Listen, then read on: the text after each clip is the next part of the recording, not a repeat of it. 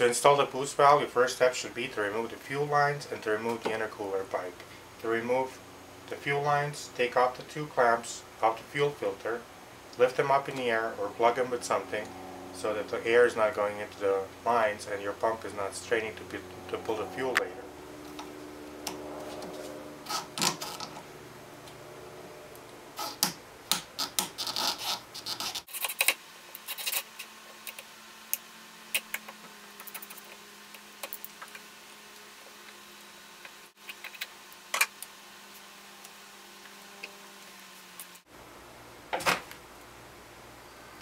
Okay, the next step will be to remove the intercooler pipe.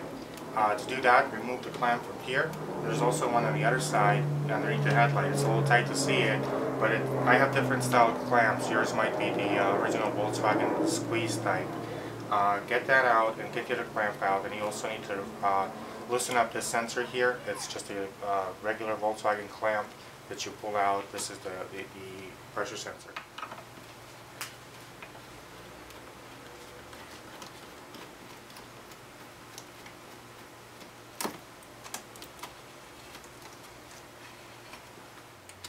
Now we got the intercooler pipe out, we need to pre-drill the hole uh, for the boost out to the valve.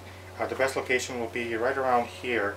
Uh, this one here is for my turbo boost gauge, so right around there will be a good spot.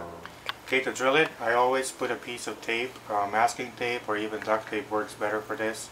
Uh, put it over the hole that you're going to be drilling uh, to make the, the plastic not shed so much into the intercooler pipe. Uh, you will need a 5 16 uh, drill bit on a variable speed drill so you can start slow and uh, make sure it is a 5 16 because that is what the, the, the valve that needs to go in there, the, the, the elbow that needs to go in there, that's the size.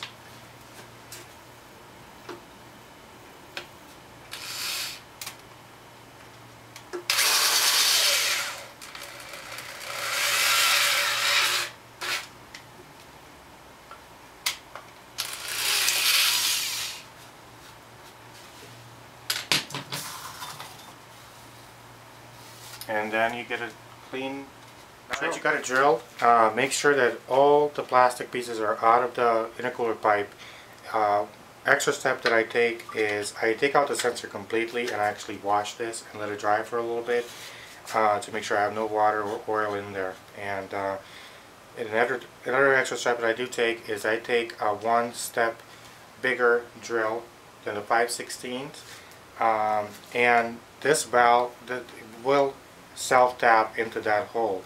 Uh, if you get it too big, you will need to use Teflon and everything. So measure twice, cut once, and this will self-tap in here.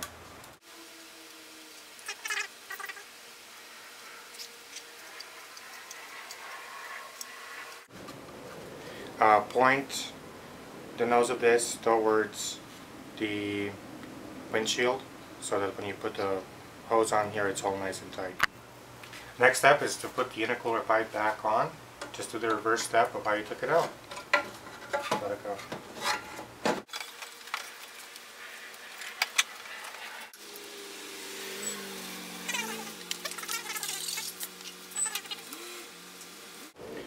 Okay, the next step is uh, put the, don't forget to put the sensor back on.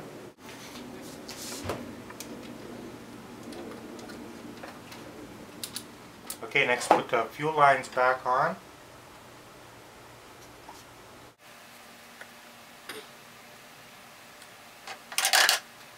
Okay, you receive a large piece of tubing uh, with the kit. It comes with uh, clamps as well.